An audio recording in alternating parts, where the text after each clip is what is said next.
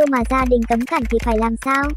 50k hai đứa thương nhau thật lòng mà bị gia đình bạn gái cấm cản thì phải làm sao nắng cảm ơn bạn nào donate cho mình 50k nhé à, bị cấm cản á. Quan trọng là vấn đề bị cấm cản là gì á.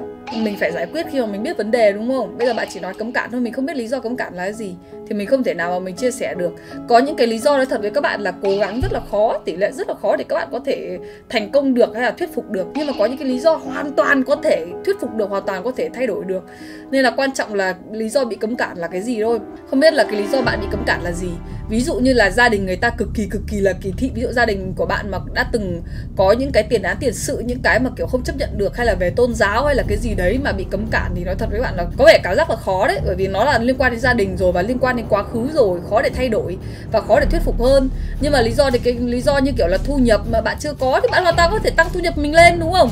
Ví dụ như là bạn đến tuổi đấy rồi bạn chưa có tài sản, hoàn toàn có thể, gọi là, chứng minh cho người ta thấy là bạn có khả năng làm được. Hay là ví dụ ở khoảng cách xa thì hai người hoàn toàn có thể cố gắng để về ở chung với nhau. Hay là lý do vì à, người ta, kiểu, chưa có thiện cảm với bạn ở thời gian đầu, hoàn toàn có thể là thay đổi được. Quan trọng là cái lý do là cái gì á. Tại vì ví dụ như là hôm bữa mình đọc được một cái bài ở trên mạng mà, kiểu à, hai người chia tay bởi vì là, tức là nhà bạn nữ đấy từng có người có tiền án tiền sự mà bạn nam đấy thì lại làm trong ờ, quân đội ờ, làm trong quân đội công an. Mà trong quân đội công an thì cả kể cả là bản thân người đó và gia đình vợ của người đó không được có tiền án tiền sự ấy. Tức là kiểu bây giờ hai người phải đi đến cái lựa chọn là yêu nhau phải bỏ nghề. Tại vì không thể tiếp tục yêu nhau cưới nhau mà mà mà có tiền án tiền sự được ấy. Tức là người ta còn bị ở trong cái tình thế mà khó xử đến cái mức độ đấy luôn ấy. Ờ, bây giờ yêu nhau quá bây giờ bạn ấy muốn tiếp tục làm công việc đấy là bạn ấy phải chia tay. Còn nếu mà bạn ấy cưới nhau thì bạn ấy sẽ phải kiểu uh, sẽ phải kiểu bỏ nghề vậy á. Nói chung là có những cái tình huống ói oăm như vậy cơ. Thì mình đang không biết là bạn ở trong tình huống nào. Không biết ở mức độ quan nghiêm trọng nó đến đến đâu ấy. Em không thể nào mà giải không thể nào mà đưa đến cái, cái, cái, cái lời khuyên được. Mình cũng đã từng yêu đương và bị phản đối rồi nhưng mà cái lý do mình bị phản đối thì ở thời điểm đấy mình cũng tự cảm nhận được là mình bất lực. Còn sau này thì sau này thì mình cố gắng hơn ờ, mình ờ, để mình kiểu như là mình không gặp lại tình huống như thế nữa. Nói chung là tình huống có thể là cái hoàn cảnh của mình khác bạn nhưng mà mình đang không biết là là như thế nào. À, bạn vừa donate cho mình 50k đúng không? Bạn có thể donate cho mình 5k hoặc là gì đấy có miễn là chuyển khoản được để trả lời à để hỏi mình tiếp để nói cho mình lý do cũng được. Tại vì là có thể là bạn donate là bởi vì bạn không cảm thấy là thoải mái khi mà chia sẻ trên livestream hoặc là bạn donate 500 nghìn cũng được. Ai donate mọi người ơi 51k lý do là gia đình bạn ấy, kiểu, nề nếp phép tắc. Mẹ bạn ấy là giáo viên, còn phía gia đình mình thì do bố mình cũng đang mắc bệnh xã hội và đang phải đi thụ án. Trời ơi, khó nhỉ. Mẹ bạn ấy là giáo viên mà gia đình bạn thì ờ, bố bạn ờ, mắc bệnh xã hội với cả đi thụ án ấy à? Thế thì có thể có vẻ cảm giác là hơi khó để ờ, khó để thuyết phục đấy. Tức là vẫn có khả năng thôi, vẫn có cơ hội thôi nhưng mà khó. Có thể là có thể là bạn đừng kiểu như là đừng cố gắng giải thích với gia đình bằng mồm. Ờ, đừng cố gắng giải thích bởi vì là cái đấy nó cái không thuyết phục được đâu. Một khi người ta đã có ác cảm với mình rồi mình nói cái gì người ta cũng cảm cũng cũng không thể nào mà vào tai được ấy không thể xuôi được ấy. Bạn chỉ có thể là là chứng minh với người ta bằng cái gì đấy thôi bằng khả năng của mình bằng cái hành động bằng con người của mình. Tức là để để đỡ áp lực cho gia đình bây giờ thời điểm này á thì có hai người có thể là không nói với gia đình là mọi người tiếp tục quen có thể nói với gia đình là mình đã chia tay rồi. Nhưng mà sau đấy thì hai người vẫn cùng nhau cố gắng cùng nhau xây dựng tương lai có thể là đặt cho mình những cái mục tiêu gì đấy mà các bạn cảm giác được là khi mà mình đạt được cái thành tựu đấy rồi thì gia đình sẽ chấp nhận được á. Thì mình cùng nhau cố gắng thôi. Uh, thì thời gian để trả lời. Chắc chắn là sẽ phải hy sinh rất là nhiều thời gian và công sức rồi. Chứ trường hợp khó như thế thì rất là khó để có thể nói được rất là khó để thuyết phục được. Nhất là khi mà người ta thương con người ta đúng không? Người ta nuôi nấng con đến gần đấy tuổi xong rồi chắc chắn là người ta phải cẩn thận trong cái việc là để con người gả con người ta cho người khác chứ. Sao mà nói mồm được nói mồm ai tin mình mà có con mà con mình yêu người như thế chắc là mình cũng không chấp nhận đâu. Mình nghĩ là cái đấy bạn không trách gia đình người ta được bởi vì là ai có con cái cũng đều thế hết. À, đều muốn con mình gặp được những người tốt thôi. Muốn tất cả những cái gì tốt nhất cho con của mình thôi. Người ta hy sinh cả bản thân người ta mà đúng không? Bố mẹ nào chả hy sinh bố mẹ nào chả kiểu như là nhịn ăn nhịn mặc để cho con. Ờ, ví dụ như bây giờ không không thiếu thốn về ăn uống, ăn mặc thì người ta cũng bỏ rất là nhiều thời gian, công sức ra để chăm sóc con cái, để dành cho con cái những thứ tốt nhất vậy á. Thì ai cũng vậy thôi, chắc chắn là sẽ không muốn con mình yêu một người mà mình cảm giác là là sẽ không hạnh phúc, cảm giác là sẽ nhiều nguy hiểm, sẽ không có ai muốn hết. Thì cái đấy bạn phải chấp nhận. Như chưa, cái đấy gia đình người ta không có sai. Chỉ là chỉ là kiểu như là đang chưa phù hợp thôi, thì bạn làm nào cho nó phù hợp bạn cùng nếu mà bạn với cả người ta mà chấp nhận cố gắng cùng nhau được thì ờ, cố gắng. Đấy, thì như mình nói đấy, có thể là trước mắt là là chưa chưa cố gắng thuyết phục với gia đình bằng bằng lời lẽ này kia, mình làm gì đấy để chứng minh thôi. Mình nghĩ là một thời gian khi mà hai người đang âm thầm cố gắng thì gia đình cũng sẽ xuôi xuôi đi, cũng bớt bớt đi. Thấy bạn nữ này không không yêu ai hay không không không quen ai mới thì sẽ cảm thấy là, kiểu, có thể là hơi lo lắng một xíu về cái việc là tại sao bạn này, bạn đấy, kiểu, có thể là là uh, không có ai bạn ấy không yêu ai được không có tình cảm với ai. Đấy rồi hai người cái lúc đấy có thành tựu rồi về chứng minh nó sẽ dễ hơn. Cách để quyết định tiếp tục yêu hay dừng lại. Chị ơi em đang yêu một chị khá vô tâm Thì em toàn chủ động nhắn tin Em đang bắt đầu nản và muốn chia tay Chị cho em xin ý kiến á. Thì em nói chuyện với người ta trước. Chị rất là hay khuyên mọi người đấy là Nếu mà có thể làm được cái gì để thay đổi Thì làm nốt Nhưng mà phải có giới hạn tức là mình không nhất thiết là mình phải bỏ luôn. Mình cũng không nhất thiết là mình phải phải kiểu làm gì đấy kinh khủng lắm. Mình ờ, có thể là, tức là trước khi, tức là mình cảm thấy là muốn muốn chia tay đúng không? Tức là mình phân vân giữa cái việc chia tay hay là không chia tay á, thì mình có thể đi đến chia tay, nhưng mà trước khi đi đến chia tay mình làm một cái gì đấy để cho mình sau này không hối hận mình ngồi mình nói chuyện với người ta. Nếu mà người ta vô tâm thì mình nói thôi chứ chả chả có gì mà phải xấu hổ đến cái mức mà mình cảm thấy mình nói ra thì là mình đòi hỏi hết. Đúng không? Yêu nhau thì phải phải quan tâm chứ, phải chủ động với hai người, phải cùng cố gắng chứ. Một người chủ động mãi sao được, cái đấy thì mình chia sẻ với người ta. Nhưng mà mình phải có giới hạn đấy sau khi mà mình chia chia sẻ rồi mà người ta vẫn không thay đổi thì đấy là cái giới hạn rồi. Thì lúc đấy mình chia tay cũng được. Lúc đấy mình không còn gì để mà luyến tiếc nữa. Bây giờ thì nó vẫn còn đang mông lung, vẫn còn đang mập mờ, vẫn còn đang chưa chưa chưa đủ lý do, chưa đủ mạnh mẽ để mình quyết định chia tay. Nhưng mà, đấy làm cái đấy. Mình cũng thế à mình cũng ờ, gì nhỉ? Mình cũng ờ, trước khi mình chia tay mình cũng thế mà. Mình cũng kiểu gặp vấn đề gì là mình ờ, lúc đầu thì mình cũng kiểu tự mình tức là thường thì mọi người sẽ ngại chia sẻ với đối phương đúng không?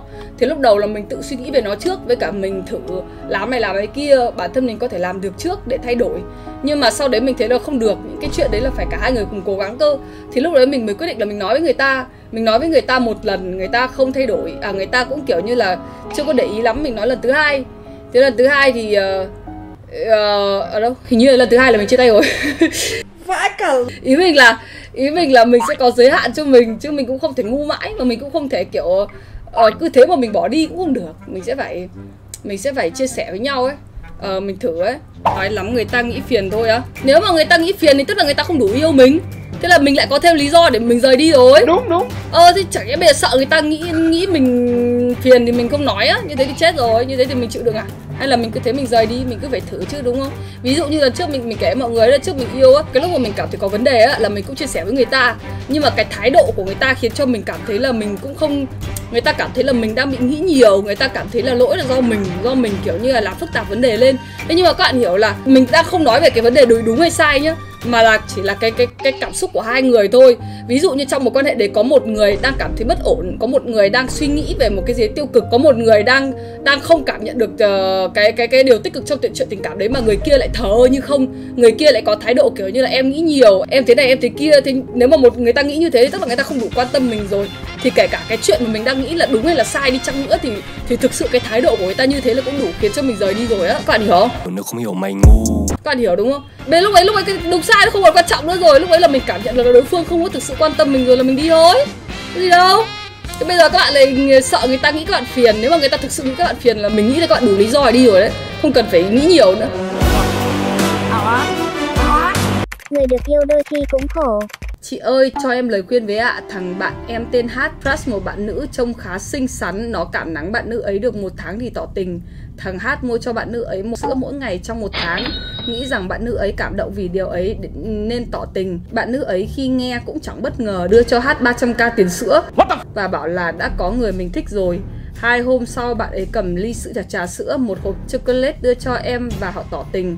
Em vẫn không biết nên đồng ý hay không, mặc dù có thiện cảm với bạn ý một chút, chị cho em lời khuyên á. Ủa là sao? Tức là Tức là cái thằng hát nó quay ra tỏ tình em á Bị điên à Chị chỉ nghĩ là ờ, có hai có hai trường hợp đúng không? Một là bạn ấy kiểu như là bạn ấy đang buồn quá thì bạn ấy kiểu ờ, em em cũng nói chuyện với bạn ý thì bạn ấy tự dưng bạn ấy quay ra bạn ấy hơi cảm nắng em thì bạn ấy làm như thế nhưng mà nếu mà em không chắc chắn về tình cảm thì em đừng vội đồng ý á tức là không không chắc là bạn ấy thích em thì đừng vội đồng ý Ờ, nếu mà bạn ấy thích em thì cái sự vội vàng của em các thứ mà em biết câu chuyện đầu đuôi như thế rồi mà thì có thể là bạn ấy sẽ nghĩ em dễ dãi nữa ấy. nên là chị nghĩ là em nên cân nhắc à, cứ nói với bạn ấy là trước đấy em đã thấy bạn ấy thích người khác rồi nên em cũng không không uh, em không dám tin là bạn ấy kiểu uh, kiểu thích em thích em đủ nhiều để em có thể chấp nhận được hay gì gì đấy. Thì em nói bạn ấy như thế bạn nữ ấy tỏ tình em á. Quê là quê là quê chung mình Bạn nữ ấy tỏ tình em á? Ủa? quê là quê là quê chung mình quê quá. Thằng bạn ôi vãi cả trưởng vị rồi. Thế thì ờ, thế thì có vẻ khó ấy nói chung là ờ, chị không thấy em thích bạn nữ đấy hoặc là em chỉ đang bị bất ngờ thôi. Chứ còn uh, em chưa kiểu quá quá quá thích bạn đấy thì chị nghĩ là em nên từ từ. Em kiểu như là em em ờ, em ờ, như thế thì cũng khó xử cho bạn nam mà mà ấy lắm. Bạn nam mà kiểu bạn của em á thì em nói với bạn nữ đấy là kiểu ờ, tại vì em cũng đâu có thích. Ví dụ em thích thì em còn phải cân nhắc giữa cái việc là chọn bạn hay chọn class đúng không? Đúng đúng. Bây giờ em còn đang em còn không thích người ta mà em chưa đủ thích người ta mà thì em nói với bạn ý là kiểu em chơi với cái bạn hát kia mà bạn nữ đấy bạn hát đấy thích bạn nữ đấy. Nên là bây giờ em em rất là khó xử. Thì à, em nghĩ là em cần thời gian em cần thời gian. Tức là bảo bạn nữ đấy là có thể chấp nhận chấp nhận kiểu gọi cho em thời gian hoặc là thôi thích em luôn cũng được. Nhưng mà em không thể đồng ý luôn bây giờ. Em bảo bạn đây là em không thể đồng ý luôn bây giờ. Ờ, nếu mà có thời gian thì bạn- em một là em em phải cần có thời gian để có tình cảm với bạn nữ đấy. Hai là cần thời gian để cho bạn hát kia quên bạn nữ đấy đi. Ờ, bớt đi thì mới có thể nếu mà muốn đến với nhau thì cũng là thời điểm đấy phù hợp hơn. Chứ bây giờ bạn hát kia bạn đấy ờ, tán bạn nữ kia một tháng mà mà bây giờ buồn vẽ trưởng mà sao mà chấp nhận được đúng không? Trong khi chị chưa thấy em thích bạn nữ kia chị chưa thấy em thích cái bạn ờ, bạn nữ đấy thì chị khơi chưa đủ lý do để để em đồng ý chỉ đơn giản là có thể là ở vị trí của em bây giờ ấy, bạn nữ đấy là người mà bạn, mà thằng bạn mình thích thì ờ, có vẻ như là cũng khá là, ý là cũng ờ, khá là đáng được chú ý, đúng không? Xong tự dưng nói thích mình thì em cũng kiểu hơi bất ngờ với giờ em được được tỏ tình nên thế thôi. Nhưng mà không không không, nhưng mà như thế thì chị vẫn chưa thấy em thích bạn ý. Tôi thích bà thì phải làm nào á để ghim số tài khoản cho đợi tí. Some money dropping out my money